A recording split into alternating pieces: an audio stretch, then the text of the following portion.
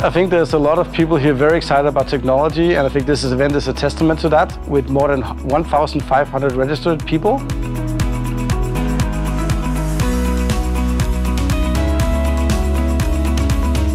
We had speakers from Denmark, from South Africa, and as a host of that uh, panel discussion, it was a blast.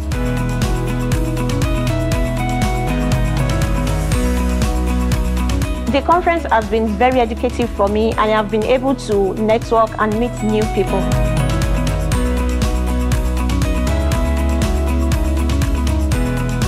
Today we are here to introduce ourselves to the IT expert in Mauritius and of course welcome you to join uh, our company and work with us.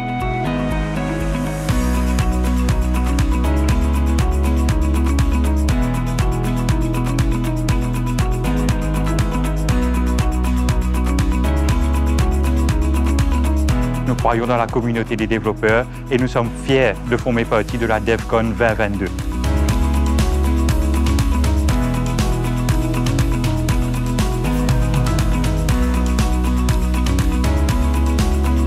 What I'm expecting to take back from this conference is a lot of uh, new friends and connections and a, bigger community that, uh, that we can call on um, if, if we find the right opportunities in future, uh, more collaboration within the local development community.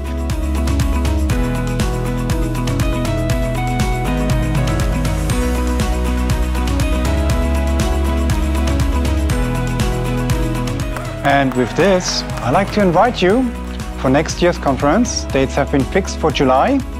See you around.